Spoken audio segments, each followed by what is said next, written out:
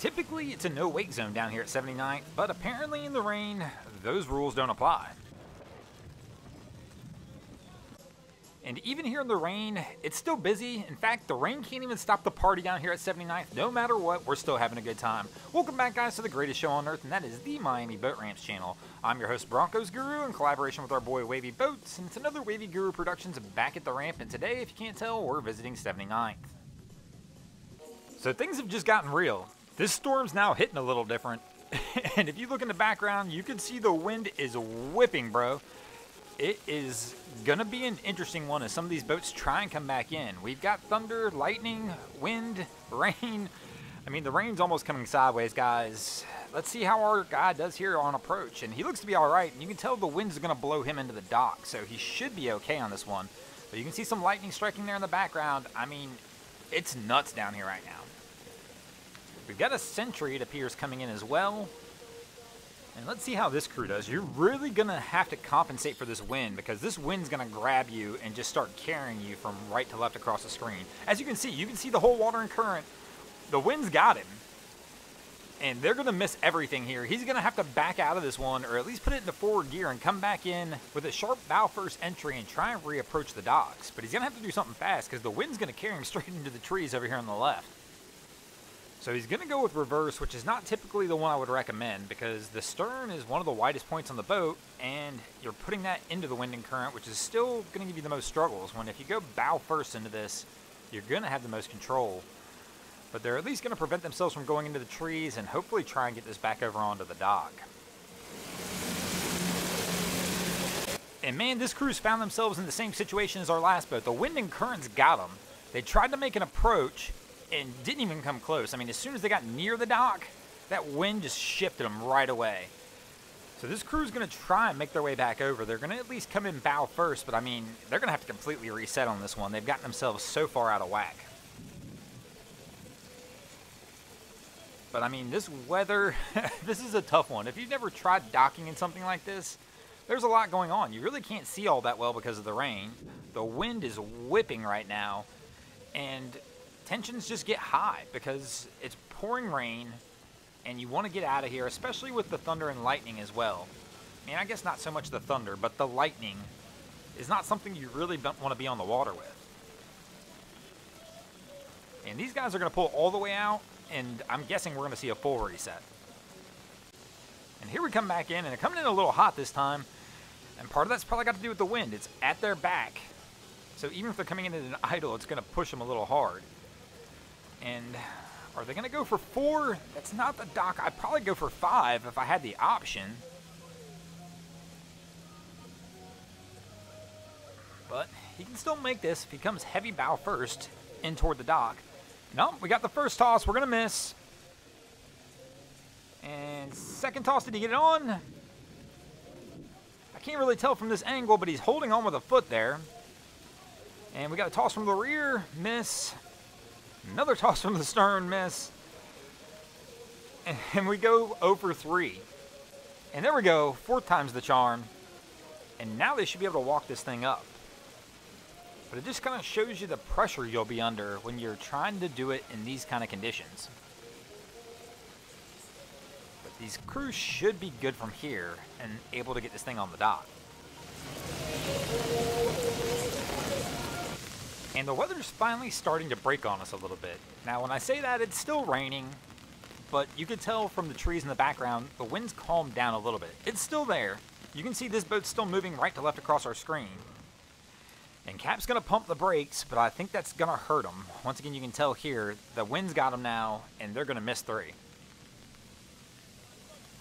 So Cap's going to have to reset this one up. And it's always interesting too when we have the bow rail like that and we've got somebody trying to leap over the bow rail to get onto the dock. So Cap's going to reverse and try and get it set up one more time and see if they can compensate a little bit more for the wind this time. I'm not sure if this is going to be enough. We probably still need a little more reverse to come back. Unless we're going to try and let our guy right off the bow and walk this up. And that's what looks like it's going to happen. He's going to go for it, and he's going to get off. And we're going to try them. Whoa, whoa, whoa, watch the reverse. I definitely want my legs right there with the reverse going on. Our guy is struggling to keep this on the dock. And our crew here is excited to see the camera, but you're shot blocking us, bro. But it looks like we're going to be okay. Cat must have either put it in neutral or gave a bump of forward gear. And we're going to get this one put back over here.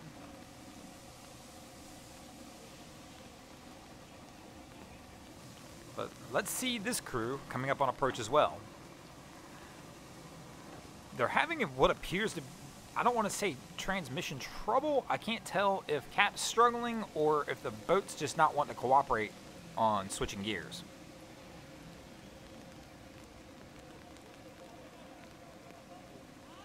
they're looking back, so maybe it's a mechanical issue.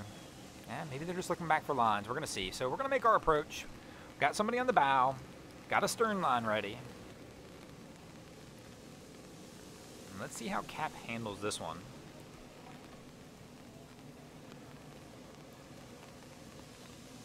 Looks pretty good. He's taking the slow and easy approach. As we already know, our wind's going right to left across the screen, so he should be pushed into the dock.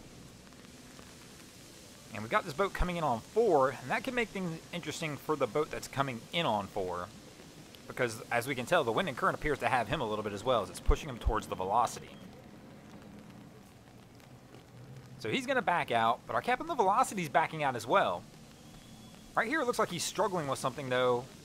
And we had somebody on the dock, but they got back off the dock.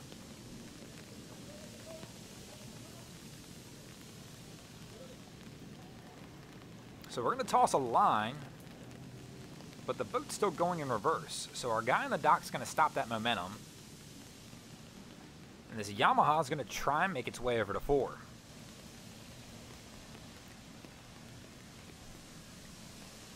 And actually, wow, that's pretty impressive. The Yamaha is going to try and go in front of the other boat, which on a day like today is quite the task, and it looks like they're going to make it in there.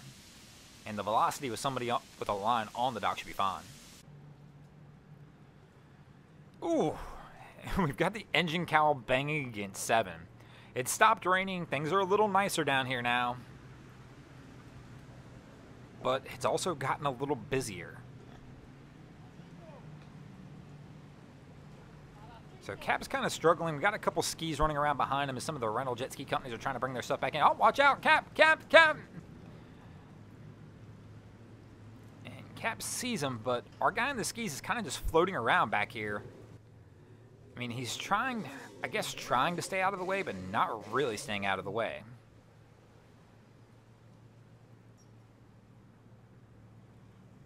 So Cap's going to make approach again, this time on six. Oh, careful, you're in gear, Cap.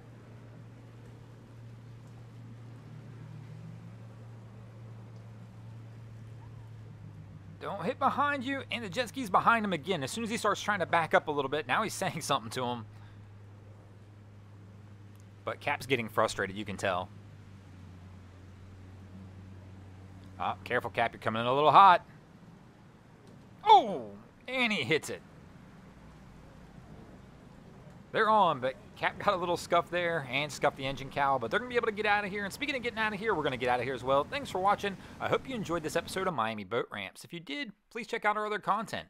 We have Wavy Boats, who does a bunch of great things down at Haulover Inlet. My channel, Broncos Guru, we do some great comedy boating videos there as well. And of course, we've got Boats versus Haulover, where man and machine take on Mother Nature down at Haulover Inlet. And if you haven't already, go ahead and drop an anchor on the subscribe button here.